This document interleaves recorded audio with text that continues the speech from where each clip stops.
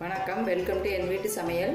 என் வீட்டு சமையலில் நான் இன்றைக்கி மிக்சட் ஃப்ரூட் கஸ்டர்ட் செஞ்சு காமிக்க போகிறேன் அதுக்கு இப்படி ஒரு அஞ்சாறு வகை பழங்கள் எடுத்து வச்சுருக்கேன். Grapes orange banana apple tutti frutti ரெண்டு கலரில் எடுத்து வச்சுருக்கேன். டேட்ஸ் கொஞ்சம் எடுத்து கட் பண்ணி வச்சுருக்கேன். நமக்கு விருப்பமான பழங்கள் ஏதாவது நாலஞ்சு எடுத்துக்கலாம். கஸ்டர்ட் செய்கிறதுக்கு கஸ்டர்ட் பவுடர் தேவைப்படும். நான் இன்றைக்கி வெண்ணிலா ஃப்ளேவர் எடுத்திருக்கேன். ரெண்டு டீஸ்பூன் அளவுக்கு வெண்ணிலா ஃப்ளேவர் எடுத்திருக்கேன். ஒரு ஃபிஃப்டி கிராம் அளவுக்கு சுகர் எடுத்திருக்கேன். ஹாஃப் லிட்டர் மில்க் எடுத்திருக்கேன். இதுதான் இதுக்கு தேவையான பொருட்கள். நீ செய்ய ஆரம்பிக்கலாம். இப்போது ஸ்டவ் ஆன் பண்ணிக்கலாம். ஸ்டவ் ஆன் பண்ணி முதல்ல இந்த மில்கை பாயில் பண்ணி எடுத்துக்கணும். இந்த மில்கில் இருந்து ஒரு ஸ்பூன் அளவுக்கு எடுத்து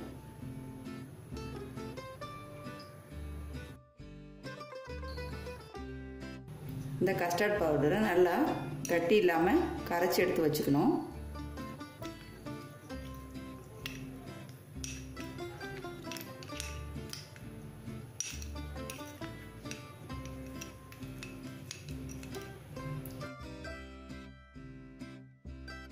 இந்த மாதிரி கட்டி இல்லாமல் கரைச்சி எடுத்து வச்சுக்கோங்க.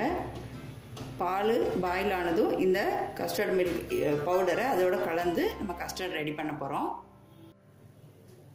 இப்போ பால் நல்லா கொதிச்சு வருது. இந்த ஸ்டேஜில் நம்ம எடுத்து வச்ச சுகர் இதோடு சேர்த்துடலாம். ஸ்டவ்வை மீடியம் ஃப்ளேமில் வச்சுக்கோங்க. மீடியமில் ஃப்ளேமில் வச்சுட்டு இந்த கஸ்டர்ட் மிக்சரை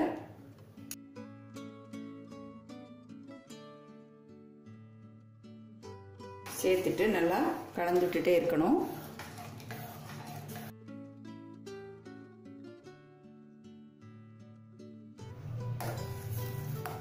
இப்போது நம்ம பாலில் கொதிக்க வச்ச கஸ்டர்ட் பவுடர் நல்லா வெந்து இப்படி கெட்டி ஆயிடுச்சு இந்த ஸ்டேஜில் இருந்தால் போதும். இன்னும் ஆறுனதுக்கப்புறமா இன்னும் கொஞ்சம் கெட்டியாகும்.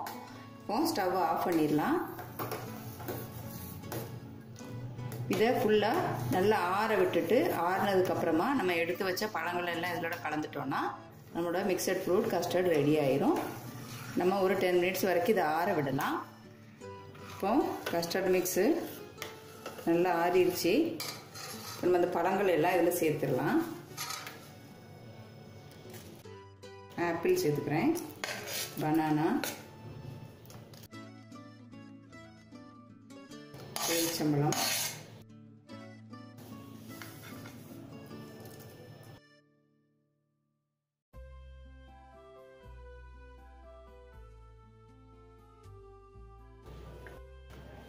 உங்களுக்கு விருப்பமான பழங்கள் ஏதாவது ஒரு நாலஞ்சு வகை பழங்கள் இதோட சேர்த்துக்கலாம்.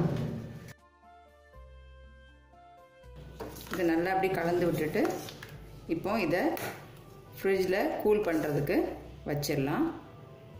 இப்போது மிக்சட் ஃப்ரூட் கஸ்டர்ட் ஃப்ரிட்ஜில் ஒன் ஹவர் கூல் பண்ணி எடுத்துகிட்டு வந்தாச்சு. பார்க்குறப்பவே சாப்பிடணுன்னு ஆசை தூட்டுது ஸோ எல்லோரும் கண்டிப்பாக இந்த சம்மருக்கு செஞ்சு பார்த்து உங்களுக்கு எப்படி வந்ததுங்கிறத உங்களோட ஃபீட்பேக் கமெண்ட்ஸில் மறக்காமல் சொல்லுங்கள் இது ரொம்ப டேஸ்டியான அதே நேரம் ரொம்ப ஈஸியான ஒரு ரெசிபி குழந்தைங்க கூட செஞ்சு பார்க்கலாம். ஸோ கண்டிப்பாக எல்லாம் ட்ரை பண்ணுங்கள் என்னோட இந்த வீடியோ பிடிச்சிருந்தா லைக் பண்ணி ஷேர் பண்ணி சப்ஸ்கிரைப் பண்ணுங்கள் தேங்க்யூ